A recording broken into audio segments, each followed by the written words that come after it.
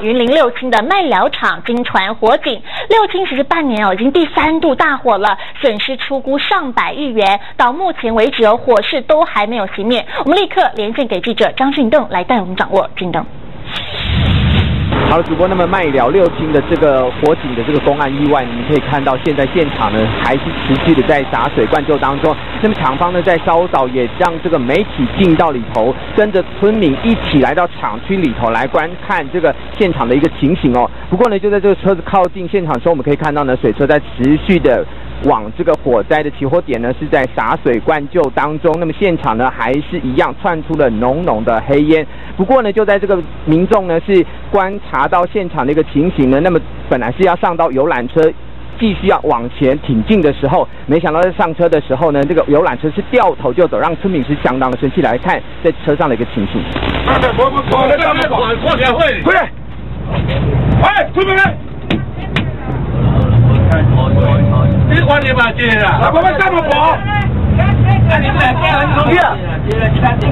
可以看到村民是相当的生气，原本以为哦这个游览车还会继续挺进到比较靠近起火点的这个地方，不过呢这个厂区似乎是因为这个安全问题呢，所以是准备要把这个游览车掉头就离开现场，让这些村民是相当的气愤难耐。那么今天下午呢，剧场台塑的高层呢也会来到了六处这个厂区来了解一下这个火警公安意外到底的情形是如何。不过截至目前为止呢，还是没有让这个村民等到台塑的高层。那么村民呢也陆陆续续在现场集结，要等待这个台塑高层来进行说明。不过火灾到现在已经已经将近二十个小时了，那么火警呢到现在都还是没有完全的扑灭。那么现场呢记者还会在这里持续为您守候，掌握最新的讯息。主播，好，烧了将近二十个小时，现在火势还没有完全扑灭哦。我们感谢俊动持续在这个现场为我们的掌握第一手的信息。其实台塑六轻厂大火烧到呢，让今天的台塑集团的股价一开盘哦，这个惨绿哦。跳空下杀，而其实六轻半年就烧了三次。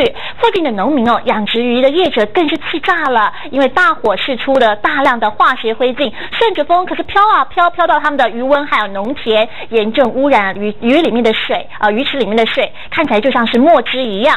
大企业这样子频频出包，但是经济部长施延祥却是只说很遗憾。六轻农民真的气坏了，台塑麦寮厂大火，让他们的余温里的水变成这副模样。黑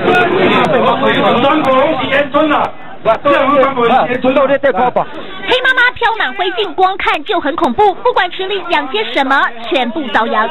之前嘛有啊，啊这个都严重，这个都多。有够无奈，因为看看地理位置。